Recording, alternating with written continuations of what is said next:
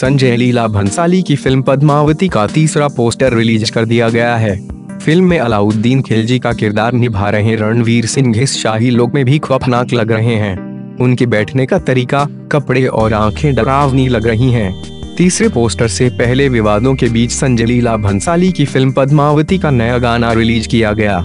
Film के दूसरे गाने एक दिल एक जान में दीपिका पादुकोण और शाहिद कपूर का रोमांटिक अंदाज देखने को मिल रहा है। एक दिन पहले पहले फ़िल्म पद्मावती का दूसरा पोस्टर रिलीज़ किया गया, जिसमें राजा रावल रतन सिंह का किरदार निभा रहे शाहिद राज सिर पर मुकुट साजे सिंहासन पर विराजे दिखाई दे रहे हैं। राजपूत आन बान शान का प्रतीक रहे रतन सिंह ने अपनी प्रजा और पत्नी पद्मावती के सम्मान में अलाउद्दीन खिलजी से लोहा लिया था।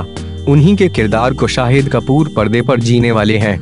दीपिका पादुकोण, रणवीर सिंह और शाहिद कपूर की फ़िल्म पद्मावती एक दिसंबर को रिलीज़ होने वाली है। रिलीज़ डेट आते ही फ़िल्म का प्रमोशन शुरू हो गया है, लेकिन अब खबर आ रही है कि राजा रतन सिंह का किरदार निभाने वाले शाहिद कपूर अभी भी नाराज़ हैं। अपनी नाराज़गी दिखाते हुए उन्होंने फ़िल्म के प्रमोशन से अपना हाथ पीछे खींच लिया है। दरअसल, पद्मावती के प्रमोशन के लिए रणवीर सिंह और दीपिका पादुकोण दोनों ही सलमान खान के शो बिग बॉस जाएँगे। हालाँकि दोनों प्रमोशन के लिए शो में अलग अलग जाएँगे, लेकिन शाहिद कपूर शो में शिरकत नहीं करेंगे।